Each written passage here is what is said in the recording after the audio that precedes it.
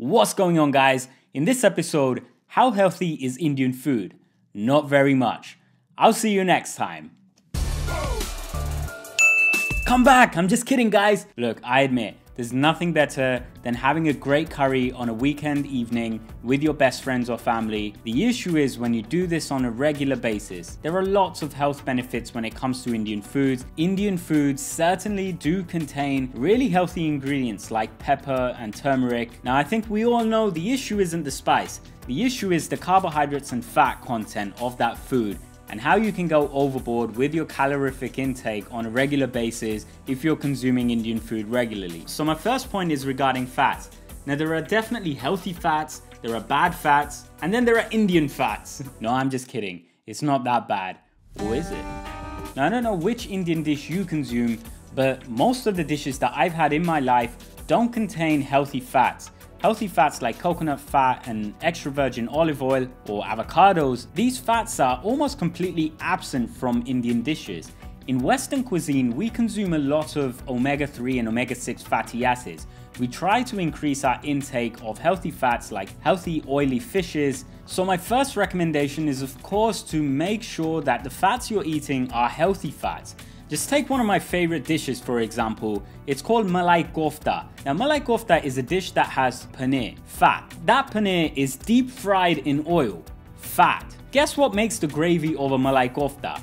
Cream, fat. And as great as this tastes, I mean, even talking about this makes my mouth water. If you're consuming this on a regular basis, the health effects are gonna be insane. It's really easy in an Indian cuisine to get carried away with the fats that you consume. So it's almost impossible to avoid eating fats if you're on a regular Indian diet. What I would really strongly suggest is that you start making your own curries. I made a three minute video on how to make a chicken curry, so if you're interested, make sure you watch that. I'm gonna leave the link right under the like button. My second point is gonna be regarding the issues of diabetes and obesity in India. Now, according to a recent report, around 30 million people have been diagnosed with diabetes in India.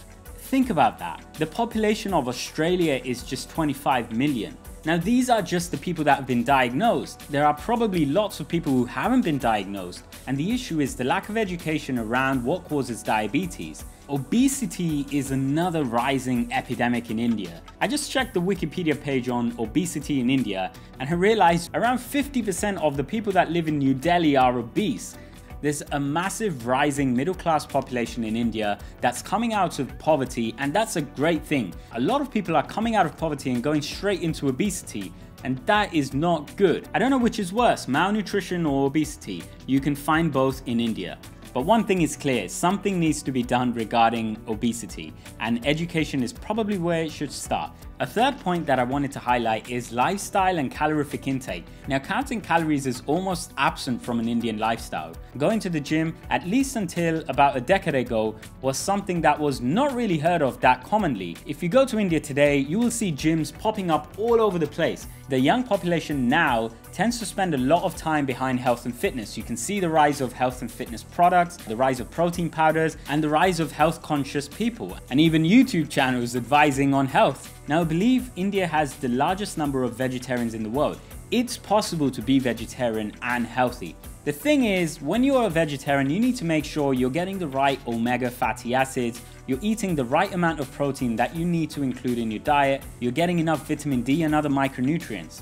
So a few quick tips on how to consume Indian food regularly but still be healthy is to make sure you're looking at your calorific intake, you're looking at what sort of fats you're eating, what sort of carbohydrates you're eating, what sort of fiber intake you have. Are you getting the right micronutrients? Do you have enough vitamins in your body to sustain a healthy body? Are you drinking enough water? Do you walk enough? Now granted, even I am guilty of sitting down too much because our work is mostly involved on a computer these days. I always have a laptop with me and that's fine. Make sure you're doing the best you can while you enjoy that next Malai Kofta. So thanks for watching guys. I hope you find these tips useful. If you want to watch videos like these in the future, then hit the subscribe button, hit the like button, and let me know in the comments section what type of video you'd like me to make next time. I'll see you next time.